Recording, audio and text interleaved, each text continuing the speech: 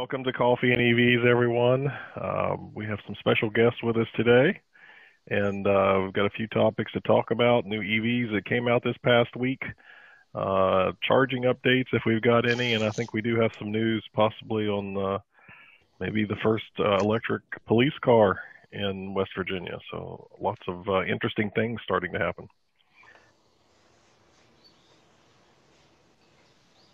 All right. So our first uh, order uh, of, of, business on our agenda is uh, Mariah Williams from Drive Electric Ohio. Um, we participated, uh, uh, Scott, Rick, and I participated in uh, their regular meeting this past week and had a great time visiting with their group and listening to all the great things that they are doing in Ohio. And so Mariah graciously agreed to join our group this morning and kind of provide the same for us and, and provide an update and give us a look at what's uh, working well in Ohio. So, with no further ado, uh, Mariah, if you want to take it away, I'm going ahead and I'll put your uh, website address and also the Green Energy Ohio Tour website up there. And if you need to share anything, uh, it should be open. Okay, well, I, I did not prepare anything for sharing today. I've had a busy couple days and Understand. didn't get back to that. So, okay, so my name is Mariah Williams, and I am the chapter leader of Drive Electric Columbus. Um, I grew up in the Ohio Valley, um, so I'm very familiar with West Virginia. Um, I was actually born in Moundsville, West Virginia, and then um, spent the first couple years of my life in New Martinsville and then we moved across to the Ohio side, and I spent my formative years in Clarington, Ohio, a little town um, just basically across from New Martinsville. Um, then we moved to Columbus and been married to Todd, who's also hopped on our call today um, for a little over 20 years. So, good morning. Um, We've got two EVs of our own. Um, we first started into the foray of having a more eco-friendly vehicle with a 2010 Ford Fusion Hybrid, which our daughter, who just graduated college, has taken over. Um, that's now her vehicle. and then we have added to our fleet all electric vehicles. Um, so we have a 2017 Nissan Leaf and a 2019 Kia Niro EV, which we drove to Maryland to buy. Um, and we had the first one back here in the state of Ohio and had a lot of publicity because of that um, and making that 400 mile trip to be able to find an electric vehicle to buy. Um, so then, as I mentioned, Todd's along. Let him have a second to tell about himself. Hi, my name is Todd Williams. I'm also on the leadership uh, with my illustrious wife, who is the leader of the group. Um, I have a day job, and uh, I'm in IT for uh, Nationwide Insurance in downtown Columbus. But uh, this is uh, definitely a passion of, of ours uh, and has been for a long time, trying to figure out how to you know, drive either more efficiently or, or in our case, now on, on electric and, and sunshine, which is about as good as it gets, really. So you make your own fuel, and uh, but I've been going to school uh, originally. It came to came to Columbus to uh, go to school for uh, electrical engineering, so got a little bit of a double E background in in in things, which helps uh, understanding the technologies and all that good stuff. So um, I guess that's about it. And you guys do have solar. You want to share a little bit about when you went solar? Yeah, absolutely. So you can look over top of me and you can see oh, our yeah, solar yeah. panels. So we have a rather large array. We have 42 panels. Um, 18 of those are facing south, 12 east, and 12 west. So we get a good, you know, amount of power throughout the day. Um, we had our initial install in November um, and went live in the start of December um, with AEP giving us permission to get everything turned on. Um, and then the we had some equipment that hadn't been manufactured yet. Um, so they brought in um, the last of our inverter hubs um, in March. Yep, so mid-March. we've been, been, running full system that we can see um, and track and everything since then. And we have no power bills, um, even with two electric vehicles charging off of our house. because we we've producing a little over a megawatt a month right now. So um, got got yeah. pretty good production out of our our home system. last month was uh, our second negative bill. We got a credit of nine dollars and 74 cents 70 some cents yeah uh, from the middle of uh, middle of april to middle of may and then the month before we had a six dollar credit so it's actually been pretty great uh, we've got a not that you care but real quick uh, solar edge uh, their their latest stuff with the backup interface uh, it brings the electrical service into your house into that backup interface so you can in fact back up your entire house if obviously to, uh, to a certain degree, certain level of power, but you can turn off loads and switch loads without having to do a lot of effort. Uh, and the whole house could be backed up. You could run anything in the house up to a certain level of power. But we've got uh, also got a battery backup. We've got the LG Chem uh, Resu 10H, uh, which is a five kilowatt uh, power capable battery backup on top of the Energy Hub inverters from Solar Edge. Uh, we've got a 7.6 and a 3.8 on the west side. So 11.4 kilowatts between the 42 panels here. So it's been great. Um, loving loving not having those bills. Now we have a rooftop solar bill, but uh, I'd rather pay that than than AEP any day. All right, so a little bit more on Drive Electric Columbus. Drive Electric Columbus is part of the Drive Electric Ohio initiative. Um, there are six really active clubs around the state, and we've just added a seventh in Mansfield. Um, so our primary groups, so for now, are Athens, Cincinnati, Dayton, Northeast Ohio, Northwest Ohio, and then of course Columbus. Um, so we we try different groups out sometimes and see if we can grow, you know, the movement in other places. Sometimes it's a little bit harder. Um, Mansfield approached us a couple months ago about coming into the Drive Electric Ohio initiative. So they're kind of still trying to feel their way out with this. Um, our mission is grassroots education and outreach to advance the adoption of electric vehicles. And we use our localized groups to organize ride and drives, table at events to educate about the advantages of EVs engage electricity providers, policymakers, and political candidates to encourage them to support pro EV legislation and incentives. Um, we have about 350 people on our Columbus mailing list. Um, so we, we have a few contacts there.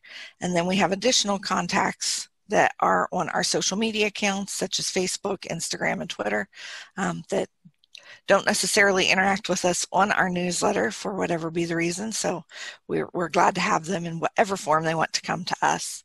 Um, and then beyond National Drive Electric Week and Drive Electric Earth Day, our members get to help volunteer and support EV outreach um, with other groups. Um, we've participated with things like the Columbus Department of Neighborhoods invited us out to their Transit Thursday programs. Um, those obviously didn't run last year, but we last participated with those in 2019.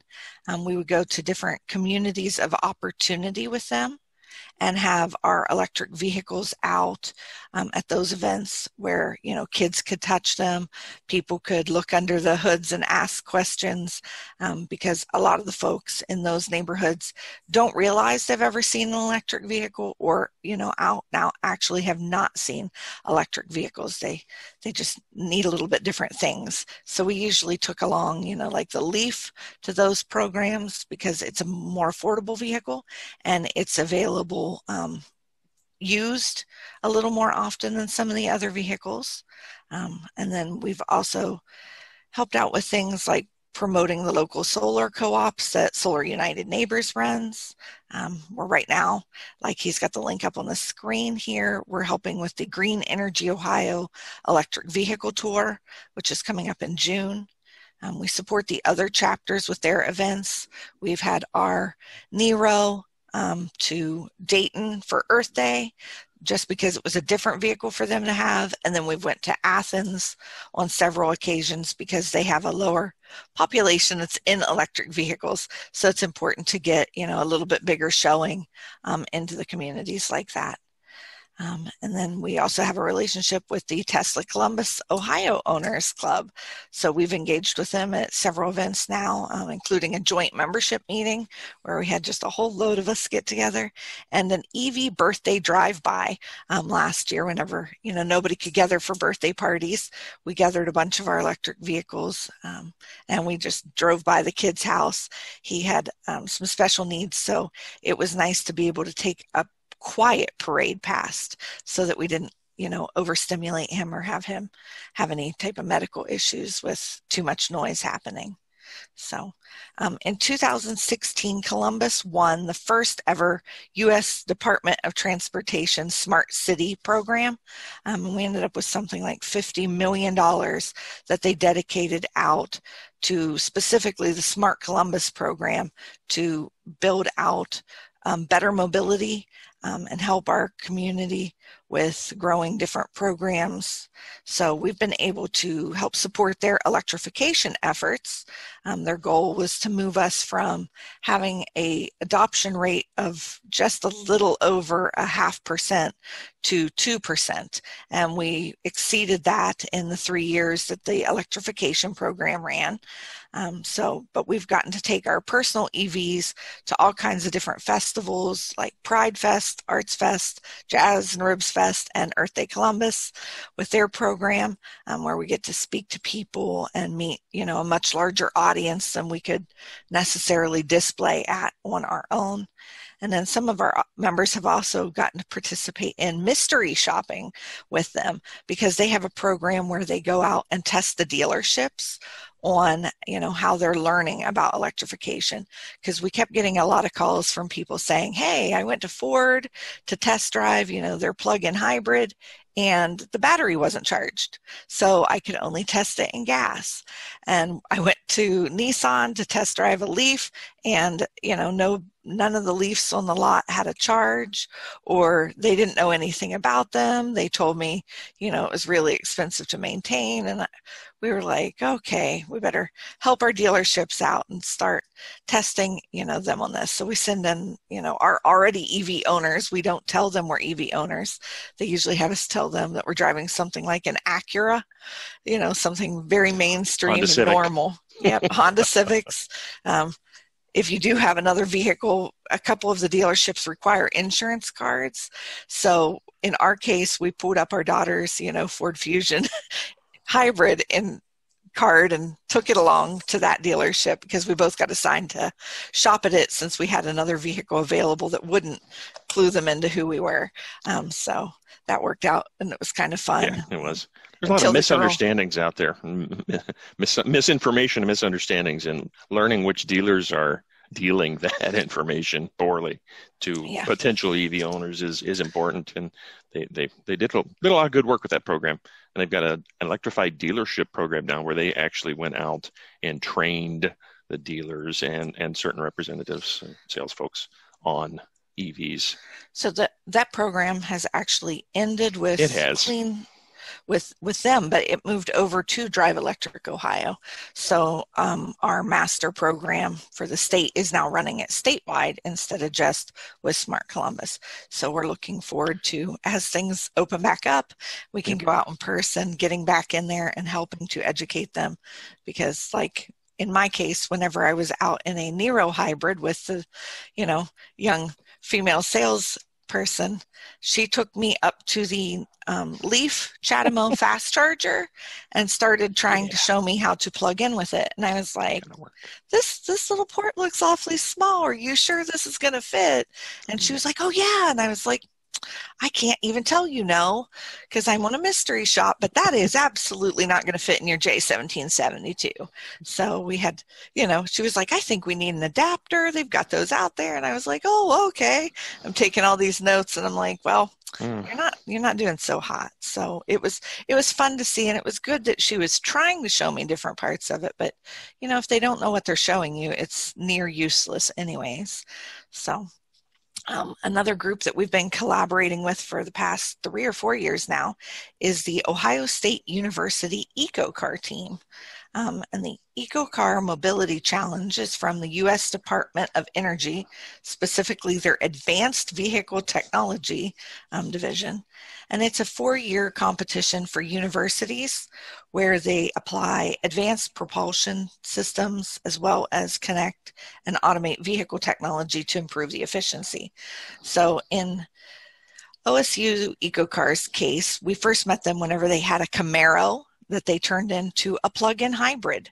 Um, and they had certain specifications through the program that they had to meet, like making sure the vehicle would get up to 40 miles on electric before switching over to gas. Um, it still had to meet, you know, all the different safety standards and everything. So they're they're completely, you know, dropping the engine out of these vehicles and just basically using the shell. But it was always fun to see people whenever they'd pull up in a Camaro and it's completely silent. Um, and now the current project is a Chevy Blazer, um, and they're in year three of four. So the vehicle is still not mobile right at this moment, but it's getting ready to be mobile again. So anytime they go out to displays right now, they of course have to bring the Camaro still because you know the the Blazers in in a state of work. The competition is wrapping up the end of year three. They're currently in the lead, right in front of the University of Alabama. So we're waiting to see how that turns out for them. Um, but it's been fun to get to have their different vehicles out and have them speak at our virtual events. Um, and then, just like the West Virginia Electric Auto Association, we have a website. Um, you can see the link to that. We've been working on expanding it to build out, um, in particular, our legislation information sections and our resources for EV drivers. Um, so, while we don't want to you know reinvent any wheels and make you know we're not going to be the next PlugShare or anything but we do want to have um, we've got in particular a page about housing um, that has electric vehicle charging stations at it because we found that it's really difficult to look those up on the maps. Um, there, there isn't a way to search for apartment complexes, and so I go through PlugShare and I click on every little single dot and find out where those are and any of them that are apartment complexes and I get a hold of them, make sure they're okay with being listed and then we put their contact information up on our website. And that way, you know, people can see that they can live in an apartment and still drive electric because it's one of the biggest things that we hit at events is people saying oh i have an apartment i have a condo i can't drive electric because you guys tell me i need to be able to drive it, it you know uh, to my garage at home and charge. And we want to be able to be like well actually you know we have 16 apartment complexes in town that have charging stations so yeah, it's never mind the public infrastructure. right which we, we do have an abundant you know public infrastructure here in town but it's still nice to be able to show them that they could have the benefits of charging at home yep. which is what everybody wants to talk about especially this past year you know whenever some of the stuff wasn't open that you would go to normally and sit and charge at um, and then on our legislation page, we started it this spring whenever we seen that we had three pieces of legislation in the works, and people were having a very hard time keeping track of if they needed to be getting a hold of the House or if they needed to be getting a hold of the Senate. Um, and then we had some confusion with members, and they were writing to our U.S. senators instead yeah. of to our state senators and you know legislation's not, hard. not getting the response that they think they will. So we wanted to make sure that everybody had simple ways to get a hold of people. Right folks and yeah. it gives us a really great place to drop our letter writing campaigns um, because we've been involved in some fairly large ones at this point um, especially whenever they were originally instating the fees on our state. Um, we have a $200 electric vehicle $200 plug-in hybrid vehicle and $100 regular hybrid vehicle fees um, just because of you know what they what they think versus what is real about those things.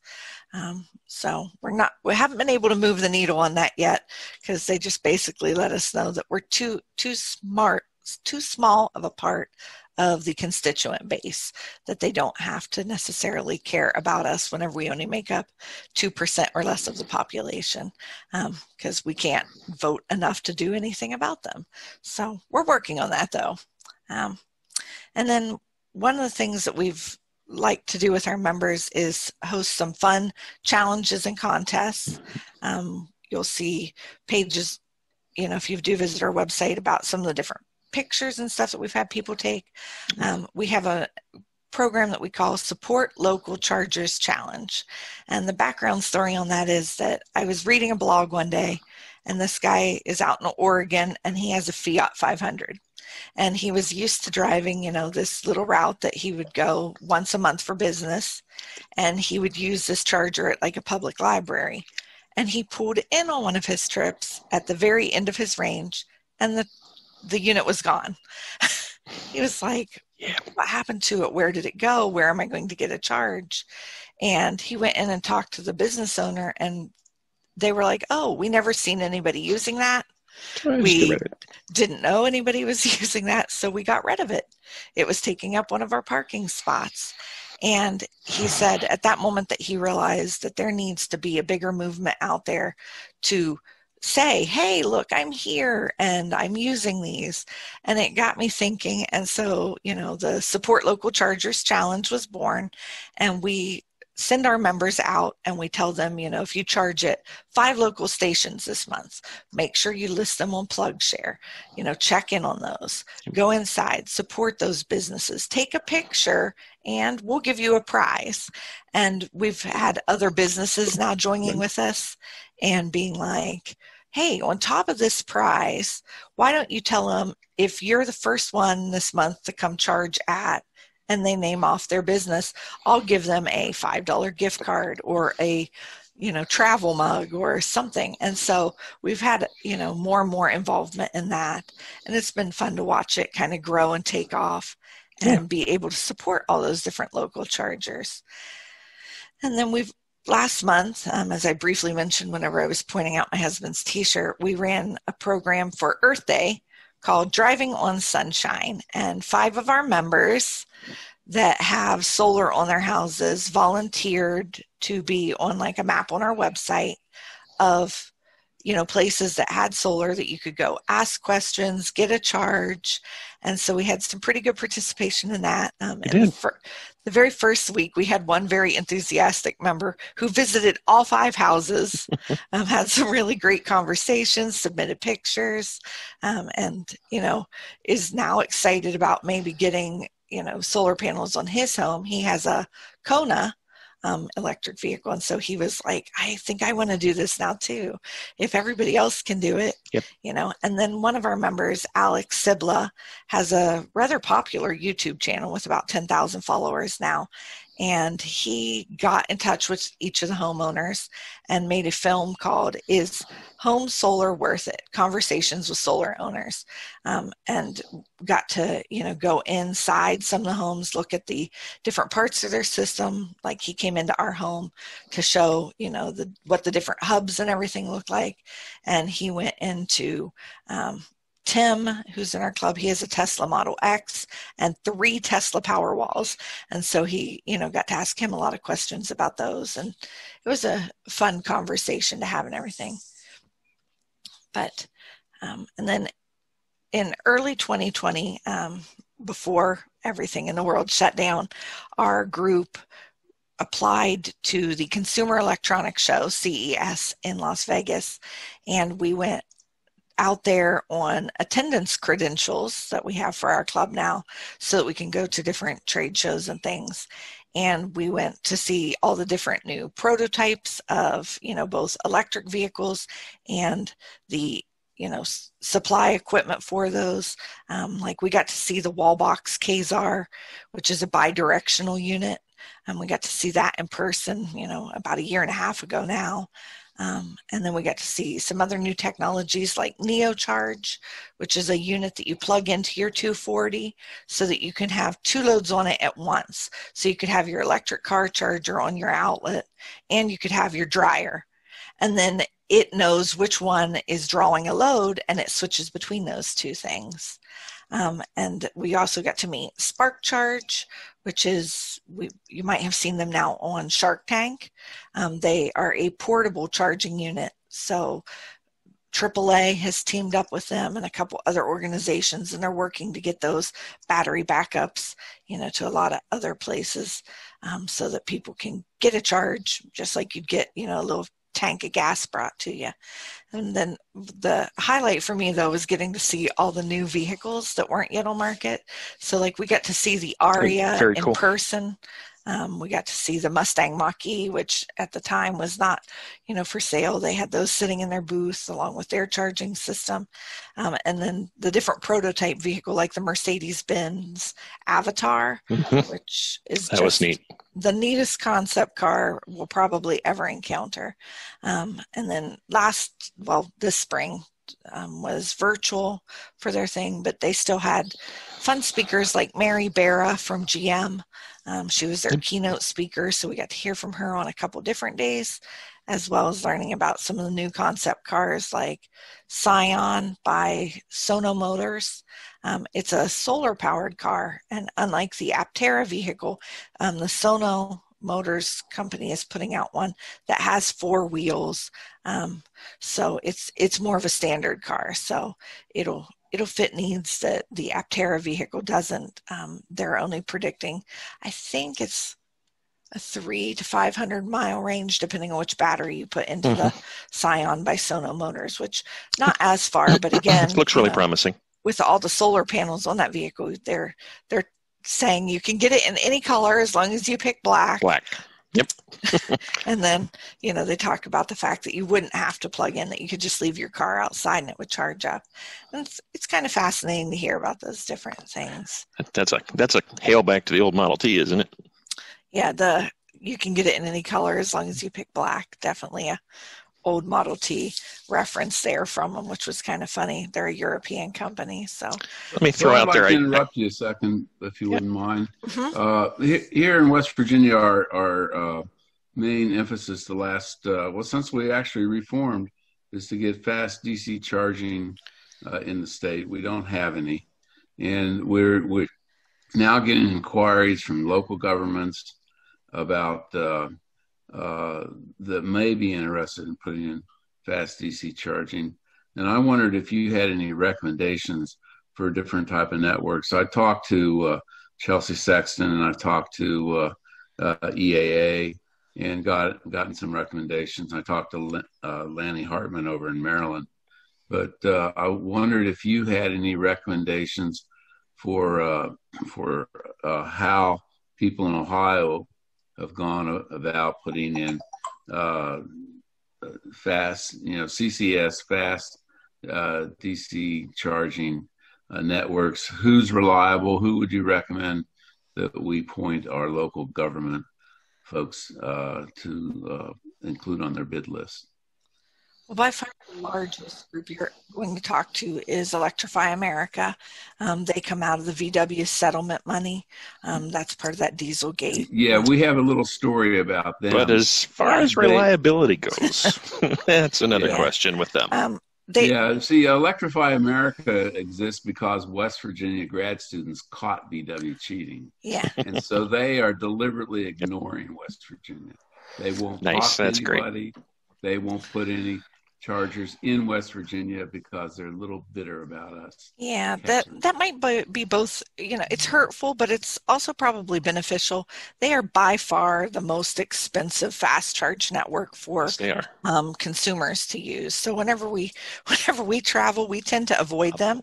So much so that we bought a portable level two charger, um, so that whenever we go visit our family back in the valley, we can pass by Cambridge without stopping, and then we just charge at at our family's house um, because we want to be able to skip past there. I'd rather spend, you know, two days trickle charging out of a 120 than I would stop by their stations. And I've yeah, actually tweeted that out to them um, because they're ha- they're on my what list. What we're wondering is, do you have anything from the business side about who is good to work with? Who who uh, can you uh, uh, the the no, names we have are ChargePoint, Green In a Lots, word, ChargePoint. Yep. EA and EVgo. Now, ChargePoint does not own and operate. Uh, they only sell and service uh, uh, a network, whereas EA, Greenlots, EA, and EVgo will actually own the stations and, right. and uh, charge the local government a fee for installing them, things like that. But are there any other networks? Are there besides the comments on EA and the reliability? I noticed that the EV Go stations yep. in Ohio, according to PlugShare, never work. I don't know that that's necessarily the case okay. for all of them. They're they're fairly reliable. They're actually more reliable than the Greenlots stuff is yeah. out there. Okay, is Greenlots uh, uh, in Ohio? They are. Yes. Yeah, the the rep for Greenlots, his name is Michael Smucker. He is not really great at answering emails. I'm on a couple different committees with him for statewide um, steering groups for EVs, and he he answers whenever it's convenient to him. Um, one of the any... problems that we have with the Greenlots units is that not all of them are networked very well. Um, so their their connections to getting a hold of things are sporadic at best, um, even in the city. So I would probably say that you know as they're getting more spread out across you know West Virginia, which is a bit more rural sometimes, that that may not be connectivity is a problem. Yeah, I would, um, I would probably steer you away from Greenlots only because their original setups with most of most of their locations or installations didn't actually include service contracts. So it's an install and I'm out of here. And if there are any problems with that unit, you're relying upon the business that owns that unit to get a hold of them to come out and fix it. And that just unfortunately doesn't happen unless you've got a really great working relationship with whatever business it is, business it is that you happen to be frequenting that has that charger. So yeah, Greenlots is probably maybe number three on the list, but I would say ChargePoint EVgo for sure. Um, EA only because they're there and they they can provide the stuff, but they're not going to deal with them for yeah. right now, though. Yeah, I understand. I know he's well, right.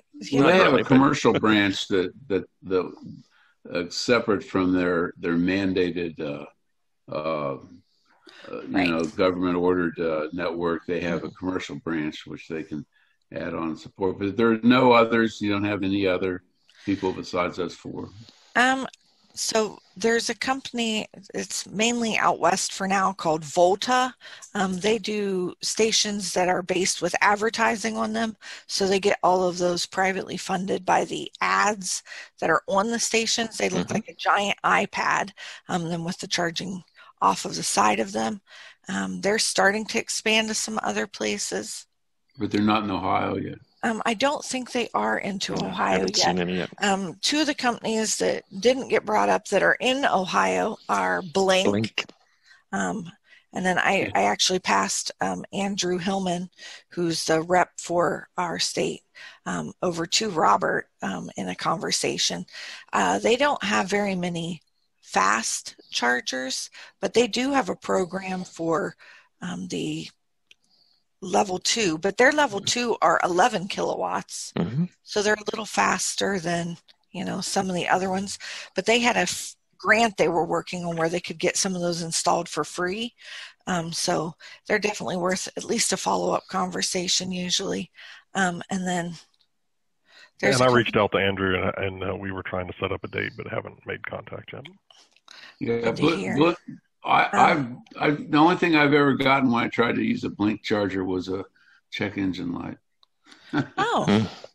yeah, we have we have some at IKEA here that we do. Not a, not a big footprint at all. They've only got a few few stations in in Ohio. So, so blink, blink is uh, uh, and okay. Well, thank you. I I didn't realize they were around.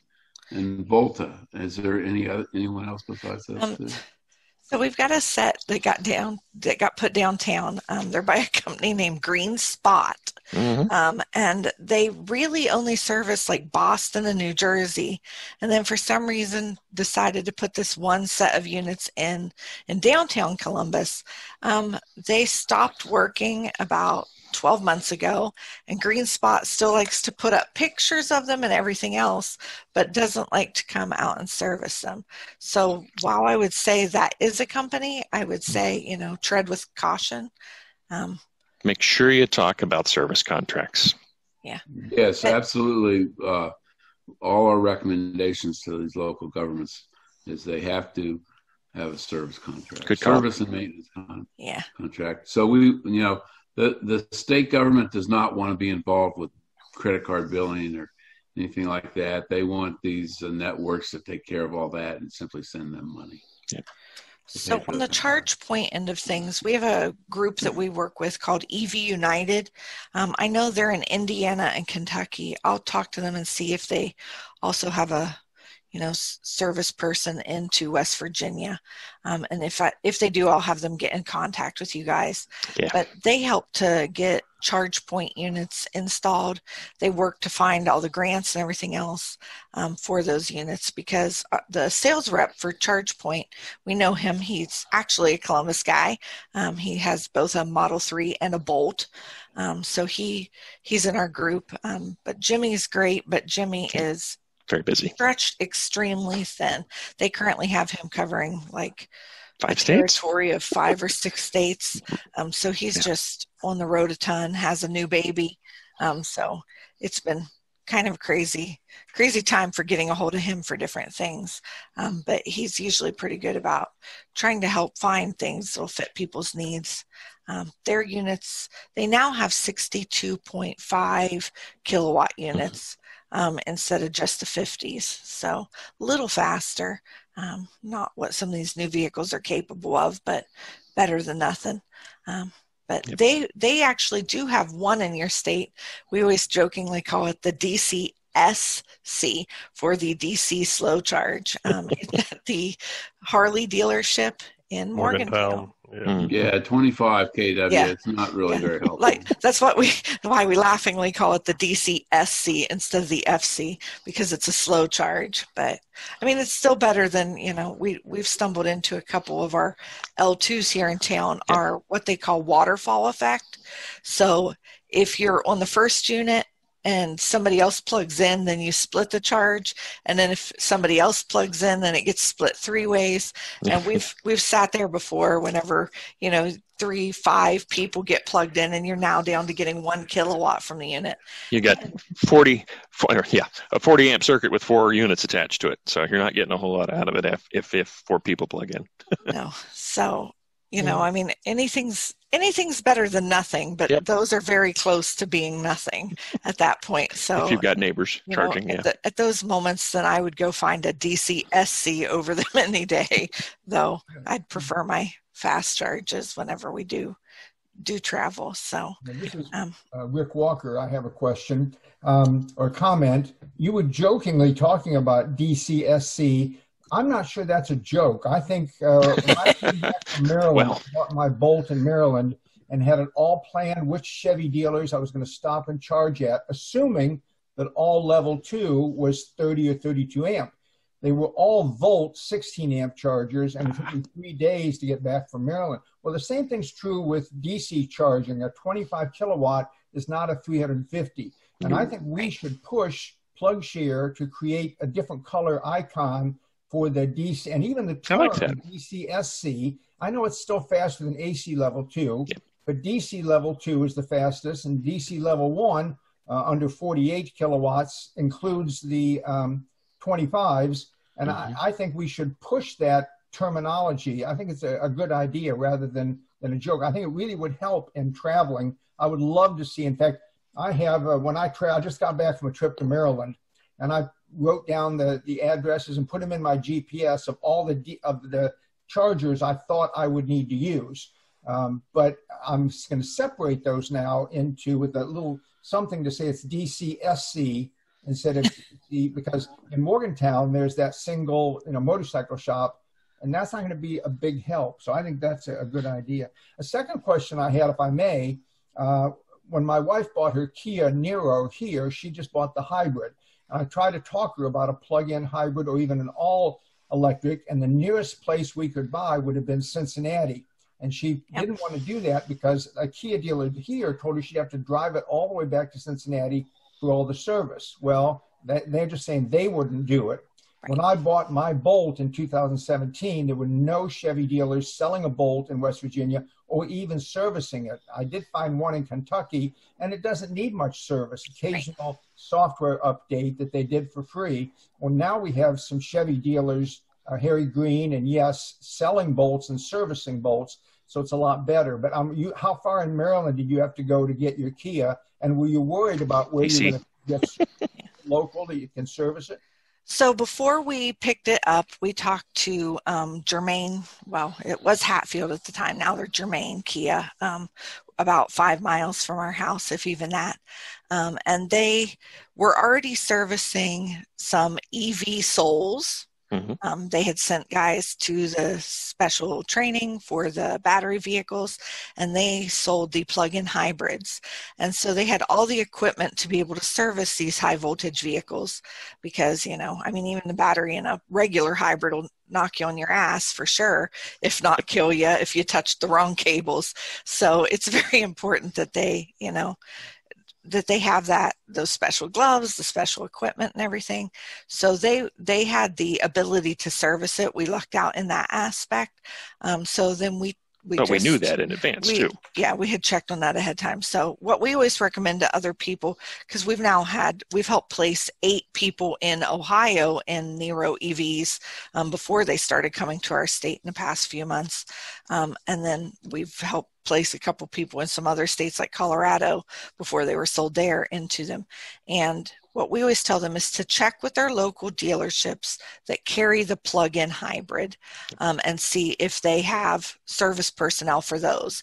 Because if they have service personnel for those usually unless they get into something in depth that would involve dropping the battery out they can handle you know much of anything that turns up. So um, 10 days after we purchased our niro in you know gaithersburg maryland i took some road debris um, and broke our windshield. Yeah. Um, thankfully, it wasn't your fault. We had taken out some extra warranty coverage on ours because I tend to find things, usually with the tires, nails, screws, yeah, yeah. ladders. I mean, a number of things, but yeah. we we took it in, and they had to take the entire windshield out, recalibrate all of the cameras once they put the new one in, and you know they were they were very excited because I was the first car with all those cameras that they were servicing. I wasn't quite as excited to be a guinea pig. May, may I interrupt you again? Yeah. Uh, we've we've got one uh, government official on here, Gerald uh, uh, from the city of South Charleston. He's he's uh, uh, heading up their effort to look at more EV charging. And Gerald, I was wondering if you had any questions regarding uh, the fast DC, uh, fast DC uh, charging networks. Uh, I don't know if you were on when they were talking about them just a little bit ago, but I wanted to make sure that Gerald got got his two bits in before we have to end this. Well, well, we we are looking. Matter of fact, we're going to put two more uh, chargers in at Thomas More Hospital. We're putting one in at the ice arena and one at the community center. And just this week, the mayor and I had talked about fast chargers. If we could find somebody or find some information on them, we would love to try to put one in here in the city somewhere. We already have four, and we're planning on putting at least four more in within the next couple of months. Right, right. Those are all those are all the destination chargers we have now. Uh, yes, sir.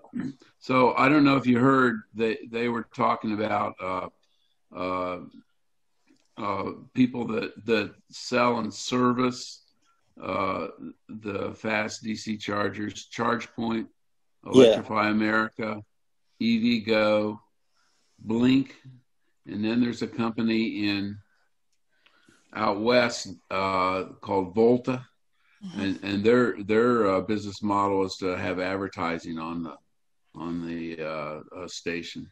Makes it free. Uh, yeah, so those those are the ones, and and we will get you uh, linkage and information in next week.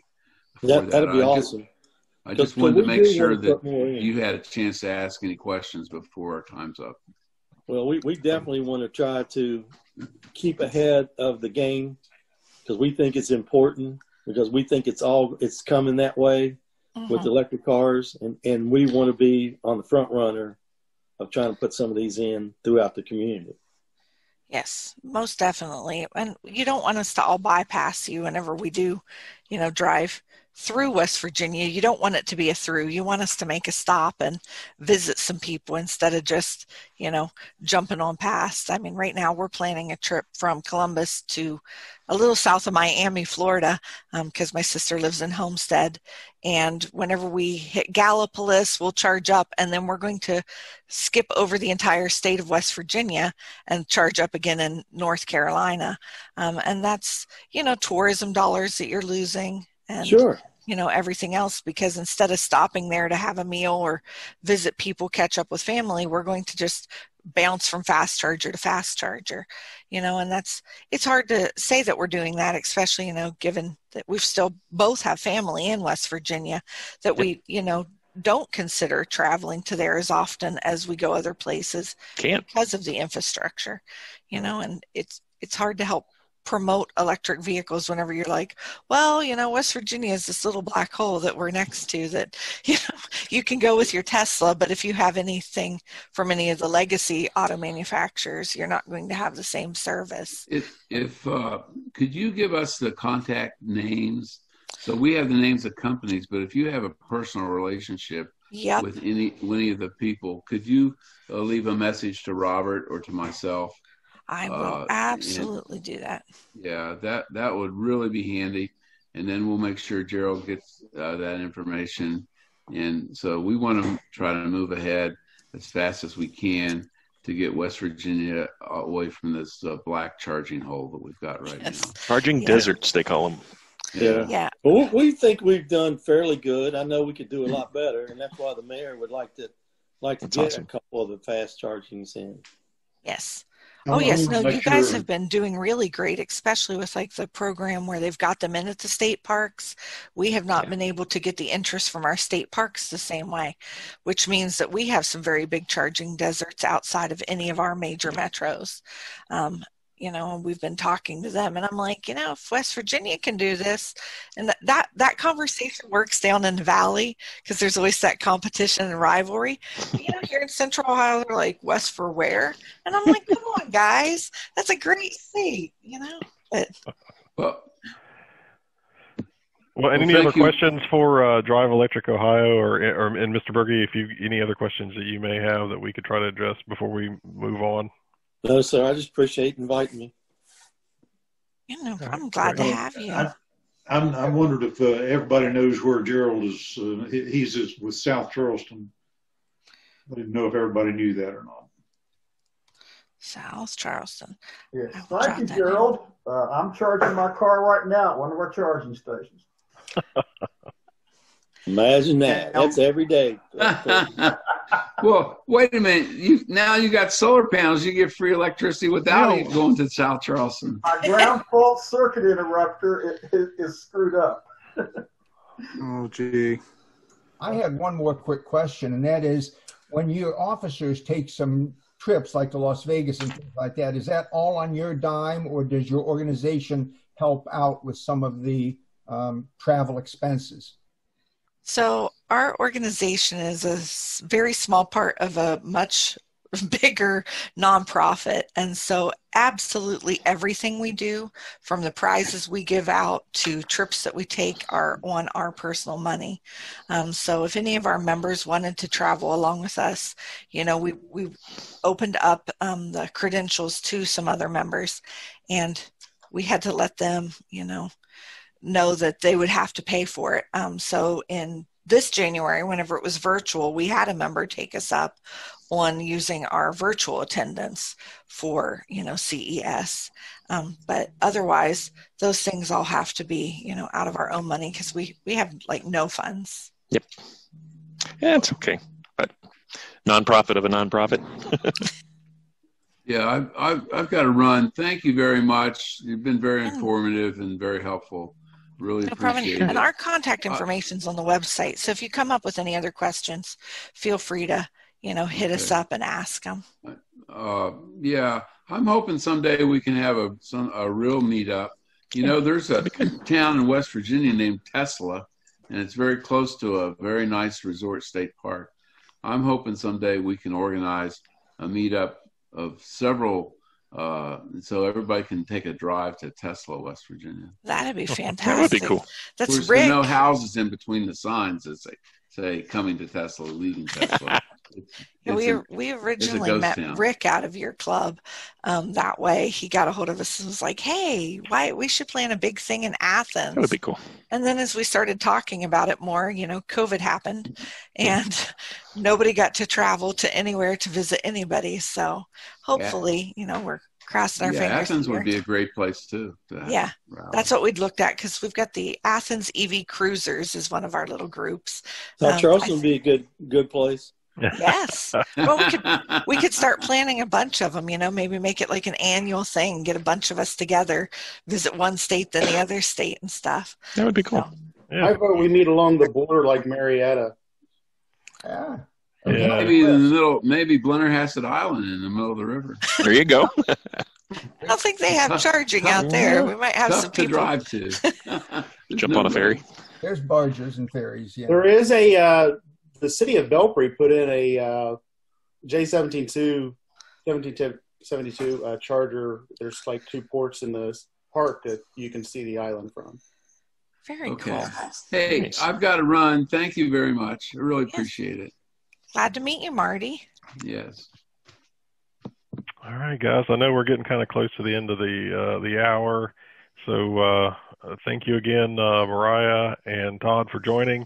Uh, appreciate you dropping in, sharing what Drive Electric Columbus is doing. You guys are busy. Uh, lots of good information.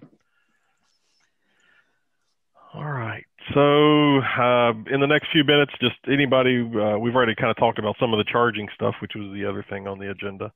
Uh, but um, there were some new EVs that kind of came out this past week, and just wanted to throw those up there. Anybody uh, have anything they want to share? Anything they found interesting with the new reveals? Anybody put in a deposit for a new EV? I, w- I will say that uh, uh, Nitro did order their Tesla for a police car All right. this week. need, they they went ahead and ordered. it. Okay, great. Yeah.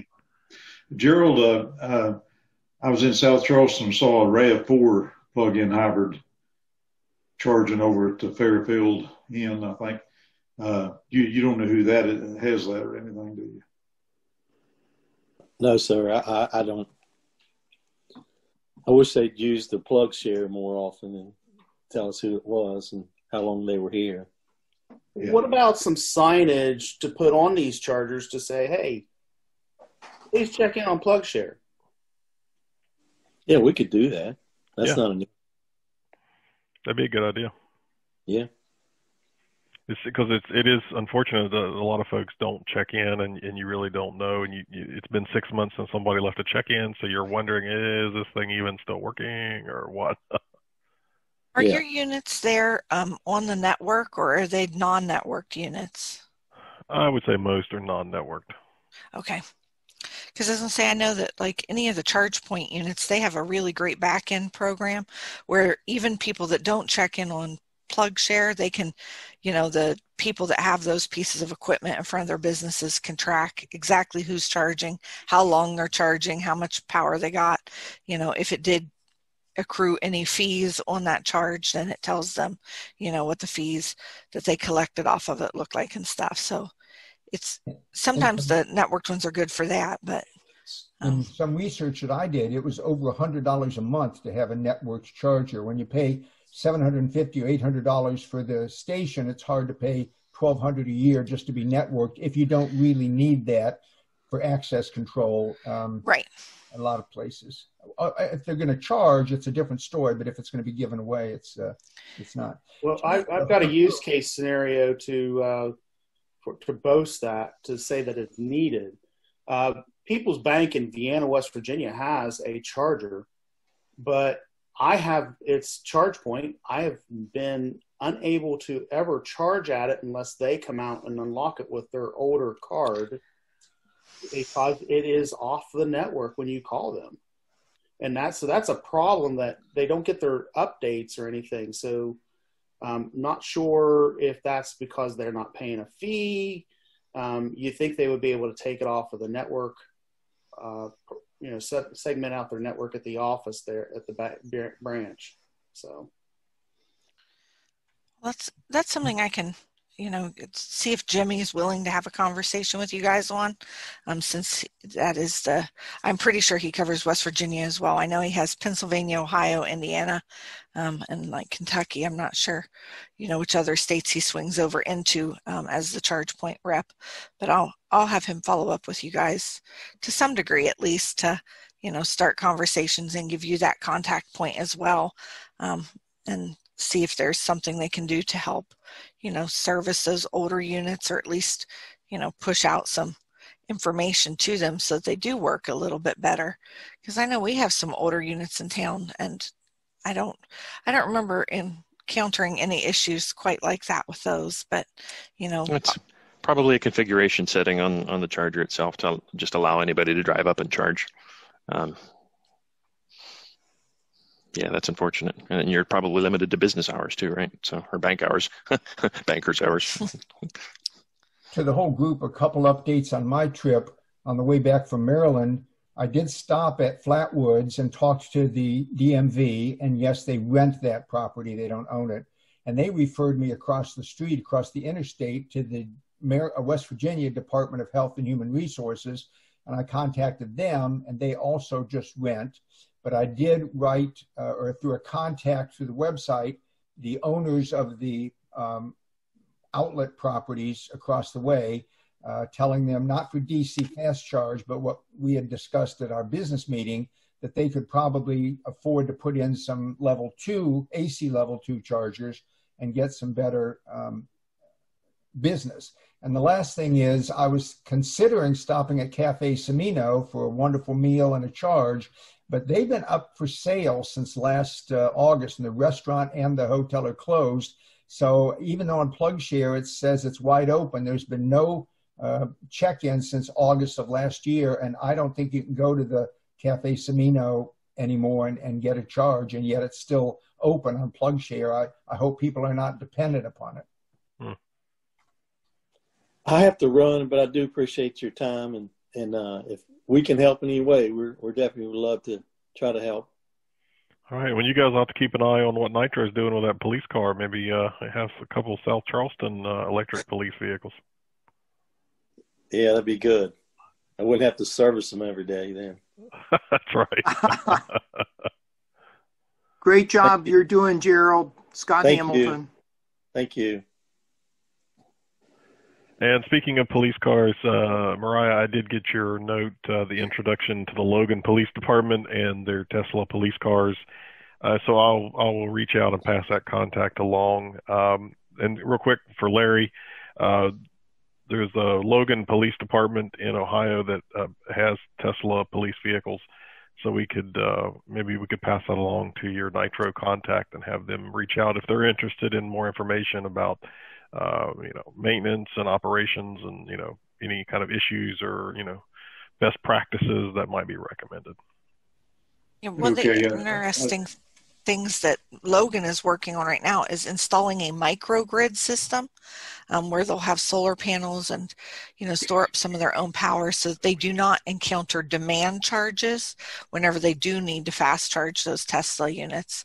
So that was something that they immediately seen that you know that while we trickle charge at home, we you know do a level two charge at home, and it doesn't really affect our power bills. That for those commercial um, mm-hmm. places, whenever they do need to have a fast charge, that those demand charges can hit them pretty hard. So it's it's been interesting to watch them building out not just the vehicles, but then their their infrastructure on the police department even. Okay, awesome. Robert, you asked if anyone had put any reservations down on any of the new releases and so forth. To keep our family's options open, we have a reservation for the Ford F-150, also the Cybertruck, and the Aptera. But don't know that we'll use them all, but it creates options going forward for the four members of our family. All right. Awesome. I'm getting ready to spring for the for the uh, Hyundai Ioniq Five, uh, possibly from the South Charleston um, location rather than Dutch Miller here. Is uh so there's going to be some West Virginia dealers carrying the Ioniq Five? Uh, they told me at, at uh, Don or Joe Holland that they would, but um, the, the the dealer here, the Dutch Miller Kia, uh, Hyundai, Chevy Hyundai, didn't know. Nobody there knew whether they would ever carry it. Okay. And they're very anti-EV. Yeah, I can imagine. I'm kind of surprised Joe Holland would, but maybe being closer to Charleston, maybe that makes them a little And more I may, open. I may have spoken to an underling who didn't know the politics. At least it's not a Bill Cole unit. Is there any uh, link or any information on contact, or is there any information about that Logan? Uh, what kind of a? Yeah, I, I've I've got the I've got a contact Larry uh, uh, email address and everything, so I'll I'll pass that along. Okay, appreciate that. All right, I'm gonna guys. Well, we're to- about yeah we're about the top of the hour. So, uh, any last minute questions, issues, uh, news that anyone wants to share? I just want to No, thank I'd our like to- for coming. And Yes. Mariah and Todd, thank you so very much for joining. It was very informative. And I have a sister in Dayton. I'm going to make sure her family, which I think her daughter is starting to consider a Tesla. She saw ours, and uh, they're going to probably electrify their family, hopefully, uh, as far as transportation. So There's a great group in Dayton called Drive Electric Dayton, um, and they Mhm. They're very enthusiastic as well. We we usually run neck and neck with them on who's bigger in size membership wise. So I think they're Yeah, just a little over over 300 right now, and we're at 350. So we've pulled we've pulled into the lead for the minute, but yeah, they've got they've got a great group. We we have a lot of cross people on our lists, you know, like Harold that was, you know, on the call the other night where he's in like the Cincinnati Dayton groups, and then he's in our group as well, you know. So it makes it fun. Yeah, and I have a connection to Northern Ohio. I grew up in Lorain and Vermilion from. Yeah. all the way through middle school and just loved it up there. Very cool. John, uh, can you uh, give us a update on your status of your solar installation? Uh, next time would be the best. Taylor's supposed to show up on Monday, and they should have it ready for inspection by Wednesday or Thursday. Okay. All right, so we got a we've got a new uh, a new uh, driving on sunshine candidate. John Averill's putting in a big solar system to go with his Bolt. Nice. So uh, yeah, solar Robert? and EVs everywhere. Robert, if you get a chance, if you're willing to, give me your address and your you know home address and then I can Right. drop you out some of our stickers so that you can share those with people that have, you know, because we've got some extra stickers from Yeah. driving on sunshine and we'll send you Sure. some Yeah, so you can great. share those with people whenever you have whenever you get to have physical things again. So All right, yeah, I'll drop that to you. I'll be headed to Ann Arbor in a week, and most of that trip will be through Ohio. I'll go through uh, Lancaster, Columbus, Findlay, Toledo, and then on up into Ann Arbor, and then over to South Lyon uh, to visit visit family, and then come back a couple days later. So I'll report on how the charging was. Yeah, there you go. well, if you wanna if you wanna grab a coffee or anything, feel free to shoot us a message and we'll see if Yeah. we can overlap with you. Yeah, All great. right, everyone. Appreciate all the time, all the great information, and uh, we will see you next month. Thanks for having us. All right, thanks, everyone. Take care. Thanks.